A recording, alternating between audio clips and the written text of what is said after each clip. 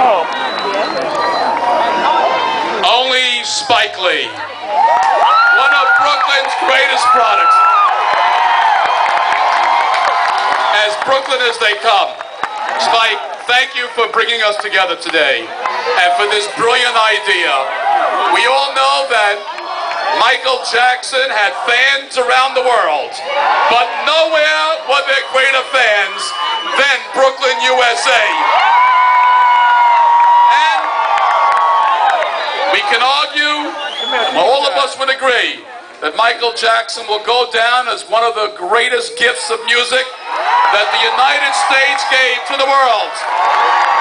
And so as we celebrate his birthday posthumously, I know I speak for all of Brooklyn for sure when I say right out, without reading this whole thing, Spike, just make it very clear what this is all about.